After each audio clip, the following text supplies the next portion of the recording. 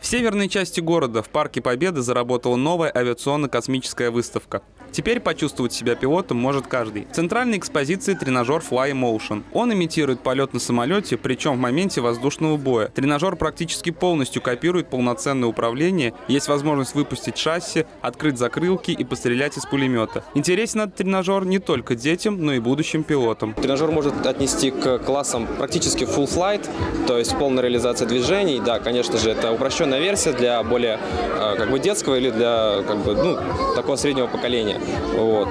А, тренажер понравился, интересный. Для выносливых посетителей здесь работает тренажер для вестибулярного аппарата «Гироскоп». Он приводит к восторгу тех, кто катается на нем впервые. Помимо всего прочего, здесь и ходить по Луне стало реально. Тренажер-аттракцион «Лунная гравитация» подразумевает имитацию гравитации на Луне. Стоит отметить, что он впервые представлен в Ульяновске. Это популяризация авиации космонавтики. То есть на самом деле это а, профориентация молодежи, профориентация в будущем детей. Мы проводим мастер-классы здесь, проводим квесты, а, тренируем на наших аттракционных тренажерах.